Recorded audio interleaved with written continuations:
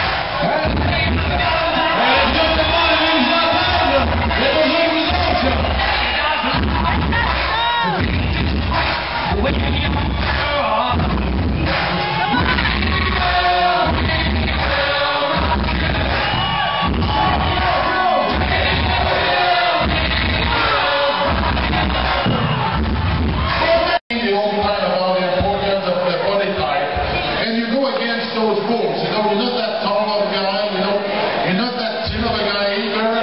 You know, you have short arms. You uh, basically, you're not made to do strong strongman, but you're very good at it. Thank you. Uh, you're right. Uh, you always tell me that, that I'm not cut out for this. But, uh, like I always say, make do with what God gave me. But you're doing very